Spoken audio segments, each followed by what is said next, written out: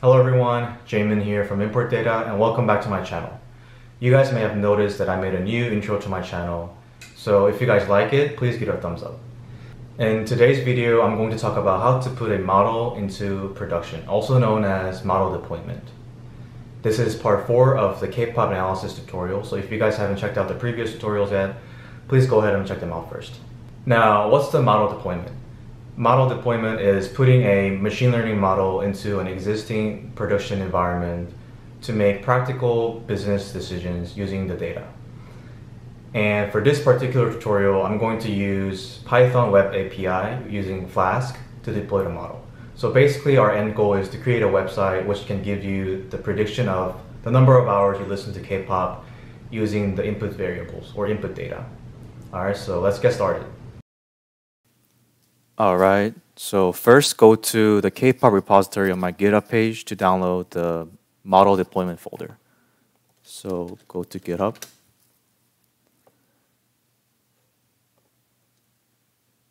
Repositories. K-pop analysis. And I'm going to provide the link to my GitHub page in the description box below. And go to the K-pop model deployment folder and you're going to want to download this whole folder. And to do, to do that, there's a website where you can download the entire folder, which is um, called GitZip. Uh, I believe it's this one. Yeah, so basically you just copy and paste this link to here to download it. All right, so show in folder, and it should be in your downloads.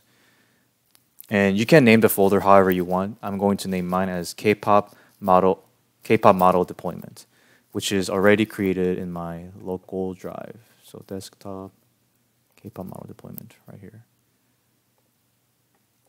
Okay. And for this tutorial, we're going to use the Spyder IDE. And if you haven't installed it yet, you can download it from the Anaconda website. So go to Anaconda download. Um, scroll down. There we go. And download the Python 3.7 version because this is the this is the newest version. All right, so let's open the Spyder IDE.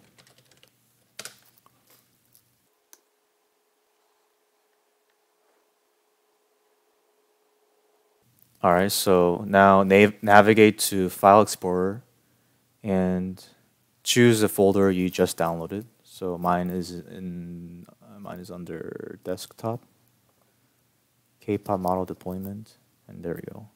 And we want to open the app.py and K-pop model building py, and then go to templates and then open the index.html. All right, so let's go to the K-pop model building script. And from the last tutorial, we used dot uh, pd get dummies to convert categorical variables into dummy or indicator variables. So right here. And I realized that this created too many extra variables, which I thought it's not going to be very useful, very user friendly, right? Because we don't want to have users to input, uh, I think 73 answers. Let's quickly check. I guess we don't need to use NumPy, so let's get rid of it. And run this cell and go to Variable Explorer. So if you see right here, so if you see right here, there are 73 columns. And yeah, that, that is too many input data. So, so this for this particular tutorial, we're only going to use the uh, numeric values. So they are here, right here. So basically, we're going to use ears listened, daily music video hour, ears merchandise spent, age, and number of group, groups they like to predict the number of hours they listen to K-pop. And let me actually zoom in so that you guys can see better. All right. And we're going to initialize it as df underscore real. All right, let's quickly run this. Now, this is the same um, script from the previous tutorial. I just kind of, uh, you know, removed some of the stuff that's not necessary for the tutorial. And run the cell. and also run the cell. And this is going to take hot minutes, so let me fast forward it. So notice that we're using the XGBoost model because from the last tutorial we saw that that was the best one. And we're going to deploy this particular model. Now this portion of the code is to save a trained model. We're going to save this um, trained model to disk using pickle and it can be reloaded later on and it can be used exactly as if we had trained it. All right, so let's run this cell. And this should create model pickle. Oh, we don't want this to be in here. Delete it.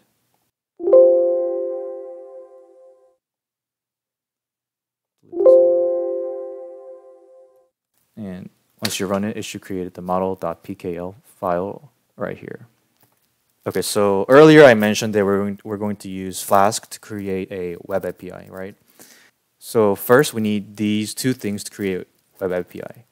The Python script, which will load the trained model and ask the user to input the input values on the website, and then it will predict, it will perform the prediction and return the return the results, right?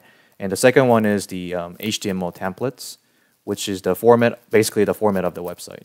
And so this, is, this will allow the user to input their um, data and then it will present the result. Basically, it's the um, front end part of this project. All right, so next we're going to go to app.py. So this will be the backbone of the web application. It will send out the web pages and get the data from the users to perform the predictions, right? So let's run the imports first, and then use Pickle to load in the pre-trained model, which we did right here. let me zoom in again. And here's the main route. So here's all the variables that will be needed for our predictions. So basically, this is going to be the input data from the user. And here I create a data frame for the model.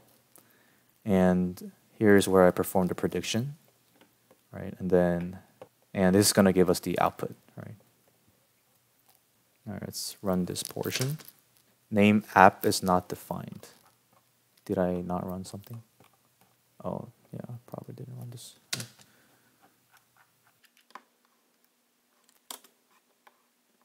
There we go. And next, we're going to go to index.html.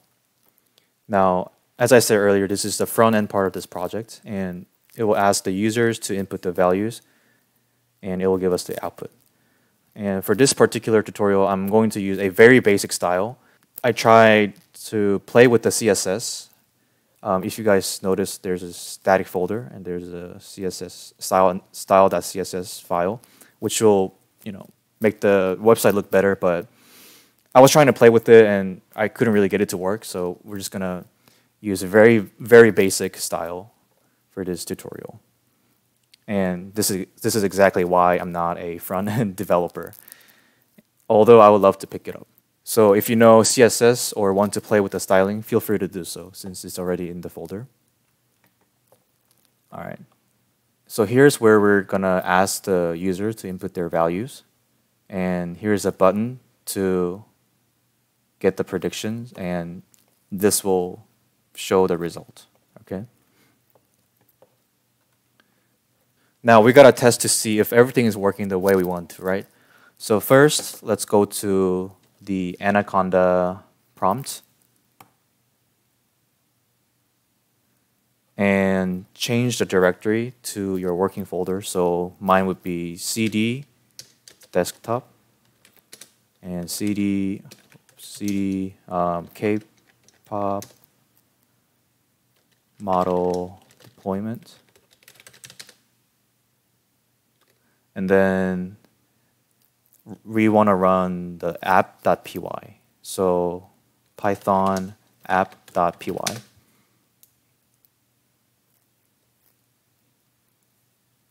And this might take a while.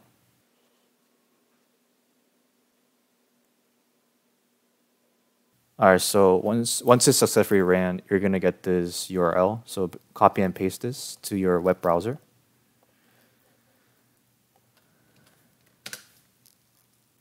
and input the values. So number of years you listen to K-pop, let's say five years. And number of hours you watch K-pop music video per day, um, let's say one hour. And how much money you spend on K-pop merch per year, um, let's say $60. Your age, I'm 24, and the number of groups you like, let's say two. And once you click the predict button, it's going to give us a prediction. And let's see if it works. And it says that my predicted daily K-pop listening hours is 3.0. So as you can see, this is not the most appealing website, but I just wanted to show you how to deploy a model for this tutorial. And you know, you can always play with CSS if you want to, and if you already know how to do it, then it's great, right? So as my website suggests, subscribe to my channel if you find this video useful. And that's it. Thanks for watching this video. If you guys find this video useful, please hit the like button. And if you guys want to see more videos like this, please consider subscribing to my channel. And in the next tutorial, I'm going to show you how to document your project by creating your own portfolio website. So until then, bye.